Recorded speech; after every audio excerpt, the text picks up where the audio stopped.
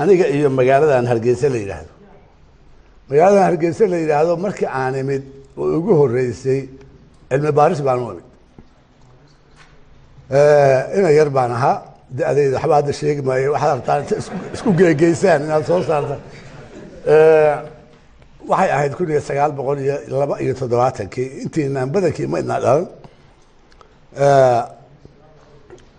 Waxaan u imid meel aan ka bilaaba maan aqoon. Inta lacag laysoo siiye xoogaa wasaaradda waxbarashadu ayaa waxaa la yidhi hargeysa tagoo af soomaaliya markii lagu dhawaaqay weeye. Waxaad ka soo qabataa laba nin qowdhan ducaale iyo faarax nuur. Hadda waa kii idiin sheegahay qowdhan ducaale iyo faarax nuur qole ay yihiin ma aqaan anugu. Mana danayn jirin waagaas dadku.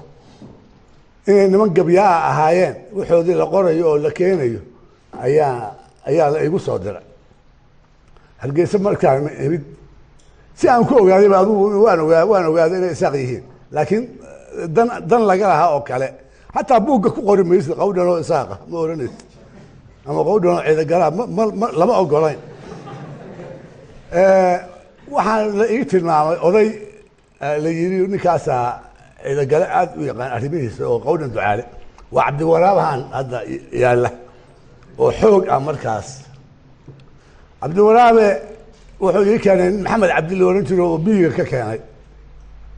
Isagaa iyo haddii alla kuu rogaya nin la ohan jiray nuur maxamed laangare la ohan jiray isna maxaa iga gidhiisha gabayga ahaa geeraarka ahaa ninka laawey beerta xorriyadda hotel yaroo ku yaalo lix labaatankii juun la yidhaahdo. Ayaan degey weli markaa ma gaarin oriental. Oriental baan u soo wareegi doonaa. Lacagtu iguma filayn aan ku dego oriental bil baana haystaa wakti labadii nin markaan dhameeyaan cabdiwaraabe ku soo noqo. Markaasaan waahay labadii nin waa ka dhamaystay gabayadii waa ka duubay. Faarax nuur baa ii hadhay suyena kace maxaa la yihahdo har wanaago hilib waa weyn laga cunaayo iyo baruur.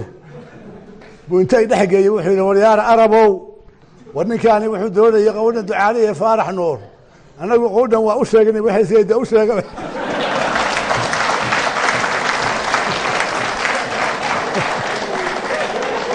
marka marka anigu waa yaryaraado yani arbaa lagu xeraa baan leeyahay mogtahay laakiin isagu dan kama lahayn. Lamana xidhin. Horta hargeysa markaasi ay igu horreysay markii dambe oo aan imidna markii waxaa iga horreysay markii lagu dhawaaqay af soomaaliga oo la yidhi magaa intaan reer baadiyaha la qaban oo la aadin horta reer magaalka hala baro afka farta sida loo qoro afka cidna cid bari mayne.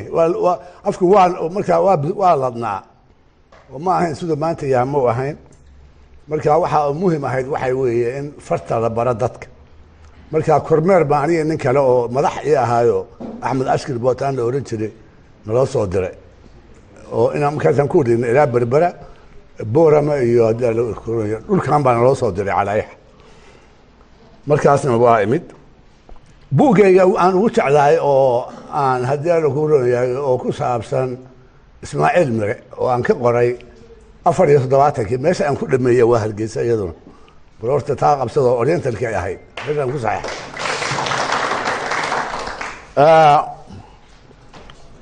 intaa markaan ka soo baxo marka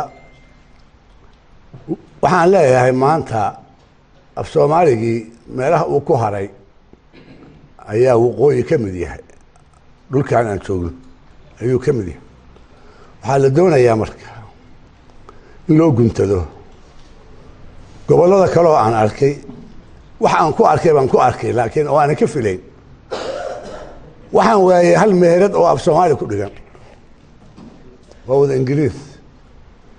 Sidee baad carruurtiina uga dhaadhicinaysaan inay afkooda ku faanaan oo jeclaystaan? Haddaydnaan ku barbaarin markay yar yihiin annaga waxaan nala baray waagaan yaryarayn in af soomaaligu ka fiican yahay afafka kale o dhan. Inuu ka baraaqisan yahay carabiga. Iskaba dhaaf aduu afafkaa kale. Dee waa waa qab laakiin cidna cidna waxay buruuf garaysay ma aha. Laakiin qab bay ahayd. Ilaa nin raggii af soomaaliga aada ugu dheganaa nin ka mid a uu waagi dambe madaxa noqday. Markii horena s w l ahaa waxaa la odhan jiray cabdilcasiis inuu xirsi. Wuxuu yidhi magacayga saddexdu waa carabi weeye saddexdaba soomaali baan ka dhigayaa buuri oo maxaad odhanaysaa?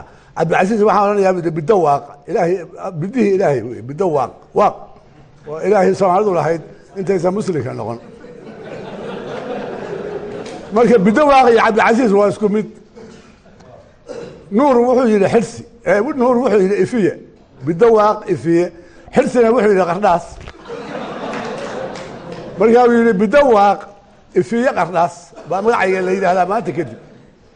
Waxay muujinaysaa yani sida loogu dheganaa afka. Maanta waxaa moodaa in laga faanayo. Soomaalida waxaa isku xirayaa oo dee hadda yani weli ay isku haysataa. Waxa weeye waa suugaanta ay wada jeceshahay oo dhaxalka ah iyo af soomaaliga. Waa kii hadda sheegayay maxamed bedel oo lahaa raxanweynti baa la yidhi afkiinu waa gaal. Waxay cidda tirina waa naqaanaa oo hadde cid soomaali dan dan dan kale ma aha. Waxaas adduunka waxaa dhibay iyo africa soomaali waa isku diin oo waa isku af oo waa isku dhaqan oo waa isku hiddo oo waxaasaa dhibay. Afrikana lagama helo dad saas. Kama jiraan. Kenya kenya waxaa jooga laba laba iyo afartan qabiil. Mid baa soomaali ah laba iyo afartankaas. Soomaalidu waa hal qabiil kenya. Ma aha qabaa'il kale ma aha waxay nooga fiican yihiin laakiin hal qabiil markay yihiin laba iyo afartankaasi hoos uma sarrifmaan oo kikuya waa kikuyo wax cid kale ma noqoto waa isugu innagu haddaan saa ahaan lahayn baan ficnaan lahayn baan baan is idhahdaa mararka qaarkoodo waaba la heshiin lahay oo dadkan wada dagaalamayo oo markii mid jaga loo dhiibo layihahdo kaas ahaa waa reer hebel baa la siiyey hadduu reer hebel yahay dee reer hebelka hoose ma aha. Marka dhibaatada halkaa ka jirtaana waa qabyaalada weeye oo dhibaataa naga haysata anigana waa isoo gaadhaa maalin kasta sida raggana sheegayo dadki qabiil baa lagu anqariyey.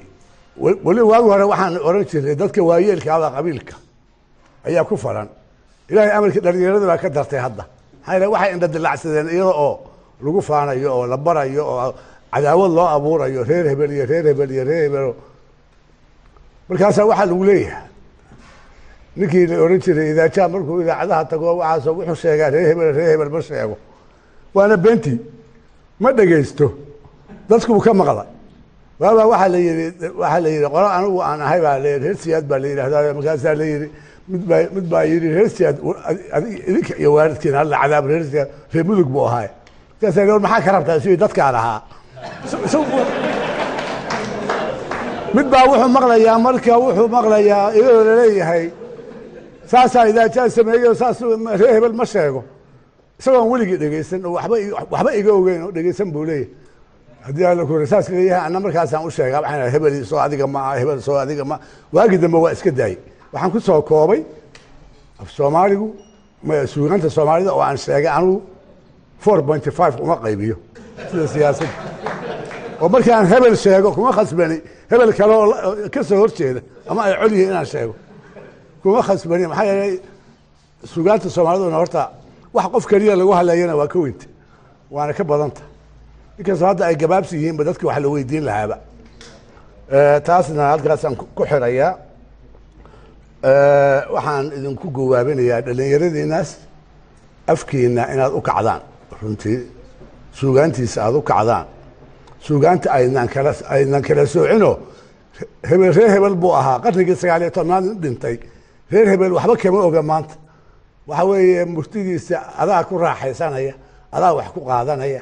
Waa xikmad waa inaad u soo dhoweysaa ama dhegaysataa sidii isaga oo yani aad isku qolo tihiin. Haddaan waa inaad sida aad u fiirisaa. Arrintan markaa wax iyadana ha rumaysanin oo wax ka jira lama arko. Cid aan u exdo iyo cid aan ka exdo wax dan iigu jir iyo dan iigu jirta midna ma jirto. Marka waxba kala sooci maayo aniguna. Aad iyo aad. Yaa u mahadsantihi